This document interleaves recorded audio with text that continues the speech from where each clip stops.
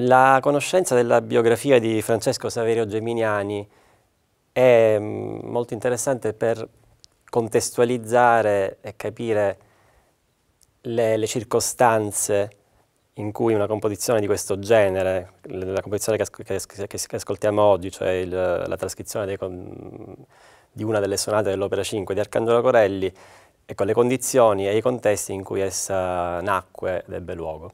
Eh, Francesco Saverio Geminiani è un compositore nato a Lucca nel 1687 eh, da un padre violinista. E, mh, fra il 1704 e il 1706 pare che Geminiani eh, fu a Roma dove divenne allievo di Corelli.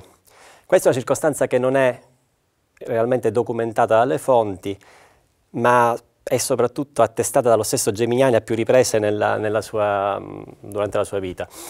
E, um, Geminiani nel 1714, come, come, molti altri musicisti italiani dell'epoca, si trasferì a Londra. Si trasferì a Londra perché Londra in quel momento costituiva per i violinisti italiani un mercato estremamente fiorente, eh, come compositori, come didatti, eh, come esecutori soprattutto perché il mercato della stampa musicale è alimentato da una ricca borghesia fatta spesso di dilettanti di musica, di amatori, e appunto il mercato del, del, della stampa musicale era particolarmente ricco e remunerativo per i compositori.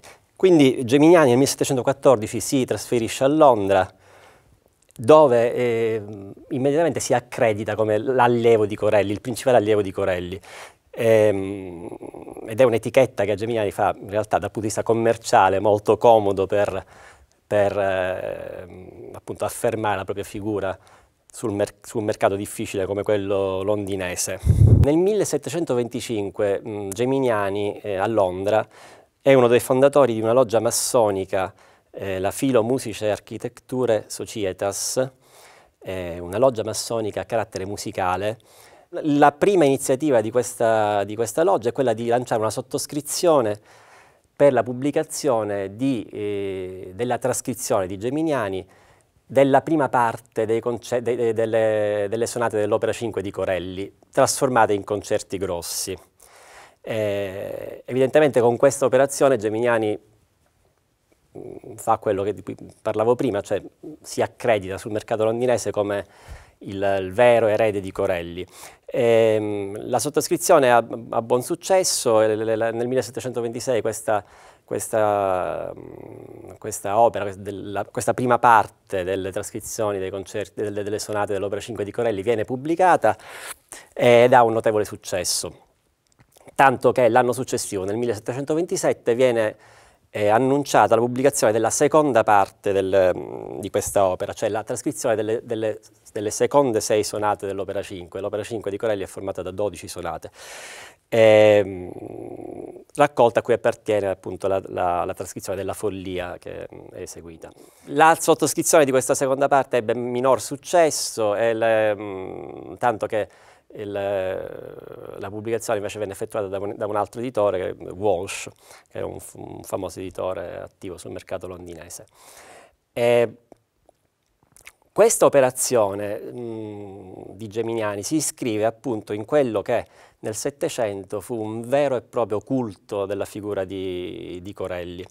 E la comparsa di Arcangelo Corelli, della musica di Arcangelo Corelli nella, nel mondo musicale del, della fine del Seicento e dell'inizio del Settecento fu mm, realmente di, dirompente, perché il suo paradigma stilistico, mm, che oggi ci appare una sorta mm, prevedibile per molti versi, in realtà fondò una, un linguaggio completamente nuovo e, e, che appunto segna una rottura molto forte con, con con le opere strumentali della generazione precedente. Perché oggi ci appare prevedibile il linguaggio di Corelli? Perché in realtà proprio questo culto alimentò tutta una serie di imitazioni di Corelli, imitazioni mh, molto spesso dichiarate eh, sia in Italia che all'estero. Eh, ci sono molti musicisti da Bellinzani a Galuppi che scrivono mh, concerti nel gusto di Corelli, ad imitazione di Corelli, e anche all'estero musicisti come Telemann che pubblica una serie di sonate che chiama sonate corellisant eh, fino al caso di François Couperin, dove mh, Corelli è il protagonista di una vera e propria mh, in, in, un'opera che egli chiama la Apoteos de Corelli, eh, in cui appunto mh, Corelli viene individuato come il, il paradigma eh, della, della, musica italiana dell'epoca. Ecco, tutto ciò fece sì che questo linguaggio mh, corelliano divenne eh, mh, qualcosa di molto comune nella, nella musica del Settecento e che retrospettivamente a noi oggi appare quasi eh, eh, in qualche modo prevedibile e scontato. Ma non dovette essere questa l'impressione ovviamente dei contemporanei di Corelli. Mentre nella, nella prima parte nella, delle, delle, trascrizioni di Geminiani del, dell'Opera 5 eh, l'apporto del, del, trascrittore di Geminiani è notevole, è chiaramente eh, percepibile. Le trascrizioni delle seconde sei sonate a cui appartiene appunto la follia, in realtà è un'operazione di puro riempitivo e di puro ampliamento del, diciamo, della, della, massa strumentale della musica, nel senso che non c'è nulla di particolarmente nuovo aggiunto da Corelli, da, da Geminiani alla, alla, composizione, alla composizione eh, di Corelli. Quindi è una ai nostri occhi in realtà appunto questa iniziativa appare un'iniziativa fondamentalmente commerciale.